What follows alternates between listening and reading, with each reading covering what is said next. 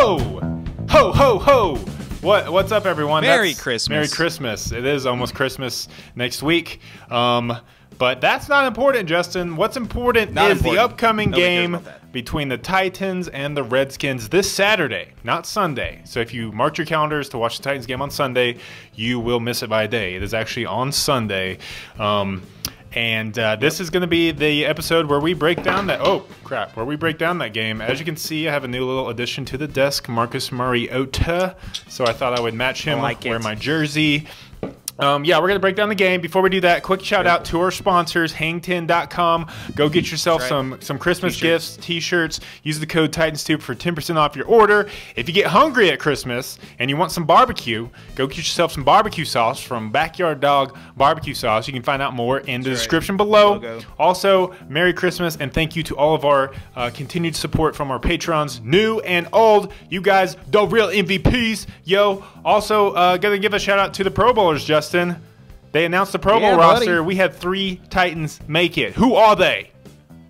They are one from each phase of the game, so all parts equally recognized. What a what a great way that worked out, I guess. We got Taylor Lewan, uh, I think it's third straight Pro Bowl. Jurrell Casey uh, going to his fourth straight Pro Bowl, and I believe I heard this stat. It was on Twitter, so it has to be true that Jurrell Casey's uh, four consecutive Pro Bowls are the most by any Titans ever in the Titan era.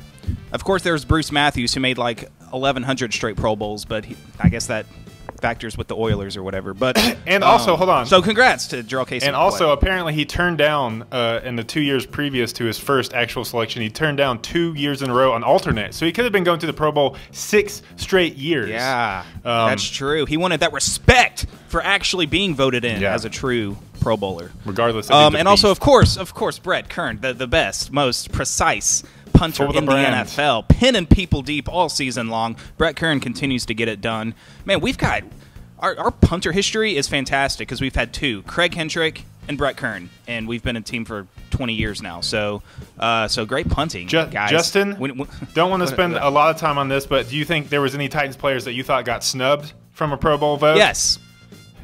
I think the only true snub I think is Kevin Byard because when I looked at who was uh, selected, I saw Derwin James who had a fantastic rookie year, no complaints about that. But Eric Weddle, that's that's the, that's a name recognition vote in because I looked at his stats and Kevin Byard has him beat on every single stat category. And he he's more versatile in my opinion. I mean, Eric Weddle, not hating on him, he's a great player. He's been a great safety in this league for a long time. But I think Byard clearly had a better season than Eric Weddle. But he is an alternate, so maybe maybe he'll he'll sneak his way in if one of What? those two don't go. Dude, you're kidding me. None of the Titans are going to end up playing in the Pro Bowl because we're going to be preparing for the Oh. Super Bowl, bro. Oh, that's right. uh, what about you? Did you think anyone got snubbed? Uh, yeah, I mean Kevin Byard's kind of an obvious one. I also probably would have thrown Jayon Brown in there. I think Jayon Brown's had an incredible season. Yeah. I don't know if his stats like show necessarily that he should have been a Pro Bowl caliber dude, but uh, if you've been watching the Titans, I think he deserves the Pro Bowl. Um, I also would I mean, say a- Darius yeah. Jennings. I mean, come on, the dude's been leading the the kick return game like. The, the league in kick returning average for like the whole season, so I don't know how he Yeah, makes it in that's there. a good point. I didn't I didn't think about that. That's because now kick kick returning is now getting more and more irrelevant as touchbacks just happen all the time now. But he's yeah he's had a fantastic season. And I know I know when the kicks. Pro Bowl votes originally came out, he was he was top ten and voting for that position. So I don't really know how he made it. I just think he's just kind of a no name guy back there. Uh, sorry, sorry Darius, but you should have made it. But that's all I got. Yeah. O- o- overall, though, it, I'm, I'm pleased that we got players in the Pro Bowl because I kind of half expected us to get snubbed Oh, yeah, I did too. I don't know. It's I don't just know. kind of a thing that happens with Dr- us. drill but, Casey, But yeah, though. I'm, I'm happy we had those three guys in there. Okay, that's that's enough of Pro Bowl talk. Let's talk about the Redskins, Yeah. Justin. This Redskins team that is seven and seven and technically still in the hunt for a playoff spot, and they just beat our. I would say arch nemesis, but we kind of owned them, the Jacksonville Jaguars, last week on a last second field goal, 16 to 13. Mm-hmm. oh, man, let's just take a moment and laugh at how bad the Jaguars season has been. Oh, oh, oh, oh, suck it, Jags. Okay. All right. Very good. Yeah. Uh, yeah. What what what's gonna be your uh, what's what what you what you gotta say about about this game, Justin? What you gotta say? Well, yeah, okay, uh, yeah. There, I mean, there, there's a, there's a lot to say here, and and I know. Listen, okay, the the Titans once again uh, find themselves in a situation where it's easy to, to look ahead to that to that Week 17 matchup. It's it's so tempting to just look ahead and get so excited to, to try to take down the Colts again. I hate the Colts. Or take down the Colts for the first time in what feels like ever against Andrew Luck uh, to get into the postseason. But just just pump the brakes, Titans fans. I'm, I'm it just make it drives me crazy when. I, I see comments on our YouTube videos or social media on Twitter or, or any other kind of social media platform where, where Titans fans are just talking about can't wait for the Colts game. Man, I can't wait till that win and get in scenario. No, that makes me bleed from my Ooh. ears. Literally, there's blood coming it. down just just all the time now. Uh, because uh, guys, we, we can't look ahead, especially with this team. I mean, and Washington isn't even a team that's it's not like they have a four and ten record and they're coming in and their season's over and they're just trying to, to get through the rest of the year. No, like you said, they've they only have one less win than we do, and if they win their last two games, that actually puts them in a very good spot to get that last spot in the NFC playoffs. Probably not going to happen because they have to play us and then I think another tough NFC team. But still, that they're going to come ready to play. They have so much to play for, and they're going to bring their A game. Uh, and so in the NFL, you can't overlook any team. And I know, given their injuries, uh, especially on offense, it's it's easy to say, oh, the Titans should take care of business. But Caleb, how many times have we seen the Titans in this position and th- we just get burned? The Titans burn us and break our hearts. Uh, just not taking care of business and getting to, to that last. Uh, and they tried to uh, burn us last year by almost ending the season on a four-game losing streak, but we managed to, to rally against the Jags in the final game to get into the playoffs. So, I mean, just just given the Titans' history, I, I do not. I mean, all right, do what you want. Fans can look ahead, but I just don't want this team and these coaches to, to be looking ahead, and I don't think they are. Uh, I think they, they know what's at stake, and they're going to come ready to play, hopefully on Saturday. Um, I'm sorry, those are just my initial thoughts. I just have to get that off my chest a little bit. I, I just hate when I see people looking ahead and just wanting to get to that Colts game. Like, no, we, we got to come ready to beat this this playoff hopeful team that, that's coming in our house, trying to spoil the holidays for Yeah. us. No, that's. Um, but I don't know. What, what are your what are your, what are your thoughts on that? Because then we can actually get into the. I mean, breakdown. uh, you're, you're spot on. This the Titans team all season under Vrabel, rookie head coach, has struggled in dealing with success. We've beaten the teams that you don't think we should have Yeah. beat, and then we've just laid eggs against the teams that you thought we would just kind of roll over, uh, minus some of the AFC South opponents. But once again, we're coming into this game with a three-game win streak. So you know, it's just time. It's that time of the season again for Titans fans to get really excited and get your hopes up, only to possibly have them dashed by a team that, yeah, we might overlook. So yeah, there's no overlooking here. Uh, you can't overlook the Redskins, um, but. More than any other team in the NFL, this Redskins team, most of their wins came on the front end of all their injuries, I would say. So we're looking at a very Yeah. different Redskins team uh, than the one that started, what were they, six and three or s- two? Yeah, six and two or six. started and three? off very Yeah, hot, leading like the. NFC East behind Alex Smith. Obviously, we know what happened to him. Uh, and then, other than that, I mean, looking at their injury report, and then their backup quarterback got hurt, and then Mark Sanchez sucks, and now they've signed Josh Johnson, who was just sitting on his butt on the couch or doing something. But but their injury list is so long that uh, it would take the whole episode to read it, basically. But but Yeah, yeah, but it's still, I mean, it's it's the NFL. It's a week to week league. Uh, all the players, all these backup players, even if they were just signed off the couch, have skill and talent, and it's a team game. So yeah, and they have something to play for. Um, and they have a coach, Jay Gruden. He's a good coach. He can get them. He can get them there. They got a Yeah. solid, talented running back in Adrian Peterson and Bruiser. I mean, they got players, so we can't just overlook this game and go ahead to the Colts game. We need to win this game because we cannot give it up. Um, so yeah, I think you're spot on. Yeah. And it's yeah, and it's going to be a little tricky because, like you said, Josh Johnson coming in off the street. I mean, he he went into that Jacksonville game, and I mean, he didn't put up fantastic numbers, but he didn't have a, a bad game. I think he was 16 for 25, 150 yards, and, and a touchdown, like game manager kind of numbers. But a guy coming in off the street and not even knowing all the players on his team, like that's that's pretty impressive. And like you said, Jay Gruden, kind of an offensive-minded head coach, has a has a mobile quarterback with some speed. He he could get himself together a little tricky game plan or something and, and come at us because it's hard to, to know how our defense is going to play this guy with such limited film tape to, to study off of and knowing what he does well and what he doesn't do as well. Um, but yeah, they, they have you know it's it's going to be interesting keeping a track of these injuries. Jordan Reed is one of their best is one of the best tight ends in the NFL, especially in the receiving department, uh, who's been struggling with an injury. Uh, so he's been limited in practice this week. We'll have to keep an eye on that because that's a big time player for him. Um, but really, but really, what I want to look at is is their defense. And I think they have a, a, pretty like I don't know. Do people talk about their defense? That seems pretty underrated. Whenever I look at the stats, as a team, they've recorded more sacks than we have. They've recorded more interceptions than we have. Uh, their front four, or not front four, but front seven, really, has a lot of talent on it. Uh, especially starting with Ryan Kerrigan, probably one of the best defensive ends or outside linebackers or just pass rushers in general that nobody talks about. He's been playing for like eight years and averages ten sacks every season. He's already year. got eleven this season, uh, and, so he's already into double yeah, digits. He's, he's, already he's already yeah he's already got that double digit sack number for him. Uh, also, uh, who else? Jonathan Allen seven sacks. Matthew Ian Ioannidis seven and a half sacks. And our leading sack leader, Jurrell Casey, has seven. So they've got three guys with as many or more sacks than Jurrell Casey. Also, Daron Payne, a, a lineman, has five sacks.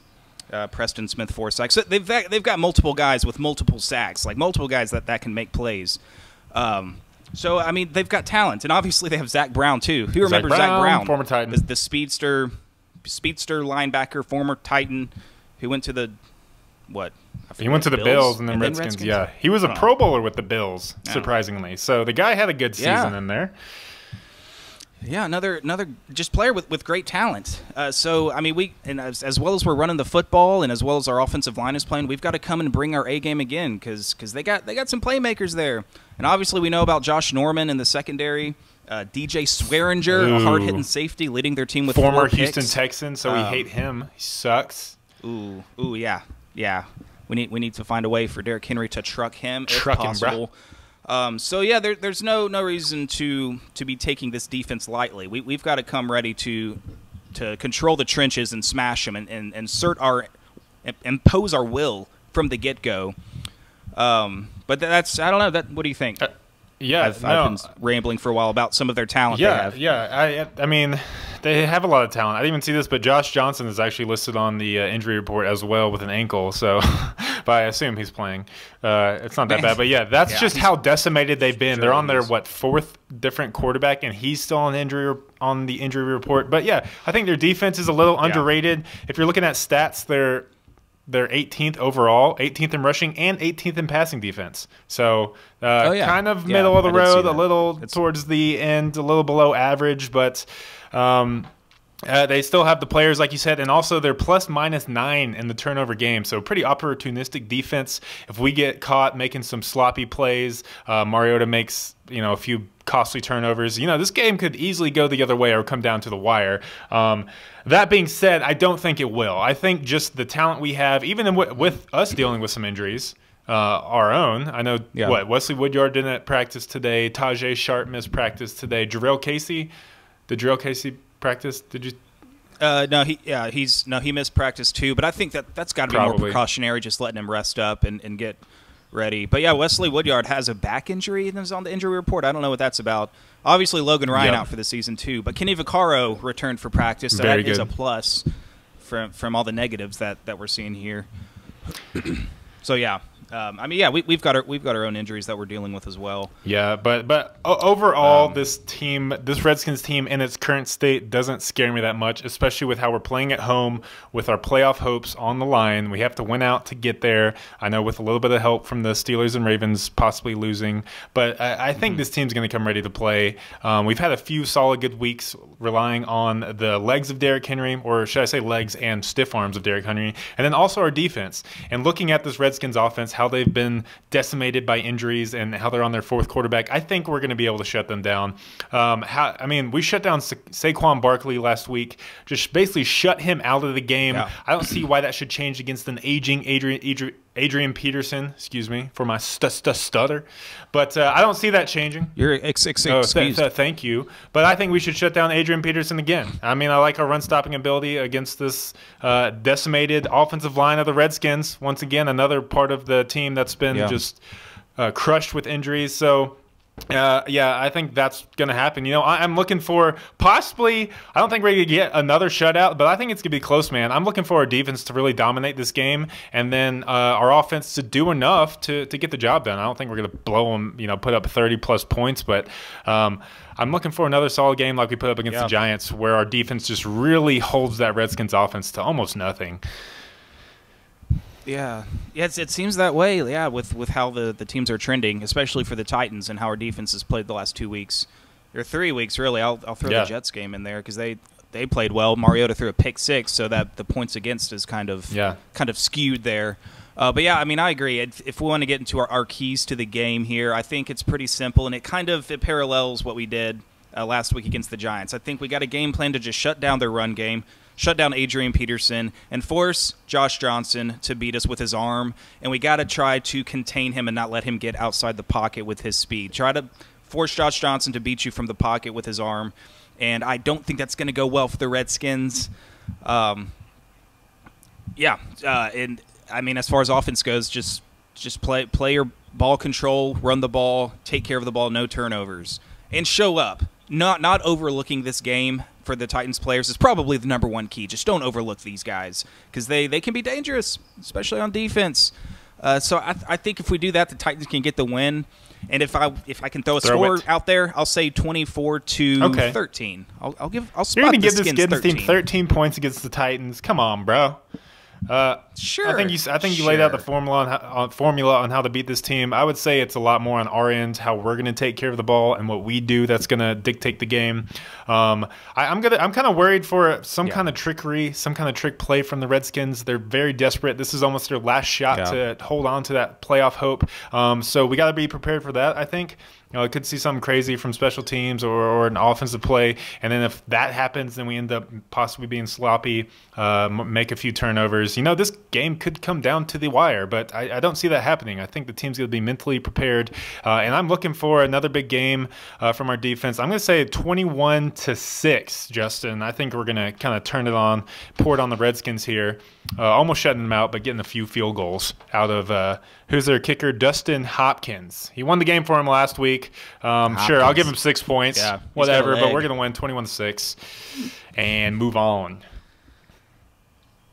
I hope so. I don't know. I don't know, people. Do we sound too confident? Is this? Are we starting to overlook them too? I don't want to take them for granted because just I feel like every time I start having faith again, I get burned. Yeah, true. Caleb, I get burned. I get stabbed. Maybe we should. Last week, it's it might, it Go, might going into the Giants yeah. game, we were really scared and cautious, and it turned out very well. So this game, we're sounding a little overconfident. So it yeah. might come back to bite us. So maybe we should say that I'm very scared of this game too. The Redskins might just pour it on us and just blow us out. Is that Josh Johnson, 500 passing yeah. yards. Does that eliminate yes. all of our overconfidence? Uh, yeah, it cancels out all. I just want to cancel out the all of our superstitious behavior and things yeah. that we say. But, but yeah, that's yeah. it. This is a game. I think we're clearly the better team, uh, playing at home. With our both teams have the playoff shot, but we have a more of a playoff hopes on our plate. So I think we're going to get get it done, man. I, th- yeah. I have faith in the Titans, bro. And, and it's two tone blue. Yeah, and it's exciting how how the Saturday games could play out because we have the very first game in the afternoon, and if we win that game, we can sit back, relax, and cheer Chargers. for the. Uh, almost said San Diego, but Los Angeles Chargers to beat the Ravens. That'll be that'll be really fun to uh, to see take place. So hopefully that's the way that the, the afternoon could be a really really good Saturday uh, man, excited, for man. Titans fans. Let's let's cross our fingers, hope it is, uh, and go Chargers and go Titans. Go Titans first, and then go Chargers. That's how yeah. I should order yeah, it. Sorry, scared me for bro. a sec. Okay. But uh, yeah, that, that's all my Ooh. thoughts, man. We should win this game. That's all I gotta say. On the back, okay. on the back okay. of our team. All right, same here same here. I guess we, we, can wrap it up and we can just tighten up and uh, ooh ah feel ah, good. Feel ah, good. Ooh, ah, feel good. Let's see the Titans team roll out of the stadium for this Saturday oh, game. Yeah. By the, the way, I saw this on fans. Twitter. Don't know how accurate it is, but I'm going to pitch this out to you. Uh, if you're going to the game, I heard a bunch of people are trying to organize a like a fan parade across the pedestrian bridge to the stadium where everyone is doing the Remember the Titans dance across the pedestrian bridge. oh so saw people tweeting about that. So if you don't know, now you know. Go look up on Twitter. I don't know who started it, but it's happening. Meet at the pedestrian bridge uh, Saturday and get your ooh ahs on. Oh my god. and let's roll. That's either going to be really funny and cool Justin, or really. I think you should really go there with a camera and, and, get in the crowd, bro. I would. I would be there. Oh, I would be there. Oh, hello. I can't. Yeah. That's a good idea. So if this actually gains momentum and takes place, Someone hit us up. sure, Someone give it. us some more details via Twitter, Titans underscore tube underscore YT, okay? Tell us about that. Tell us about them. Tell us. Tell us. Left Tell side! us. Tell us. Tell Strong about that. side! Okay. There it is. Strong side. All right, let's finish this out. Thanks for watching and listening and being a fan of the Titans. And if you're And not subscribing. a fan of the Titans, then what are you doing here? Okay. Maybe you're a fan of the Redskins. are we being man. unfair to your Redskins? Aren't aren't you guys kind of struggling right now? You have no more players left. Yeah. So, yeah. No disrespect. I apologize. I have clearly nothing against the biased, yeah. Redskins, minus your slightly racist name. But uh, Possibly, and your owner's kind of a, a, a Yeah. d-bag, I guess. But as a as a those, franchise, as those a are stories for another Oh, day. cool. Until now. Titans going to get the win over the Redskins uh, on Saturday. Peace out.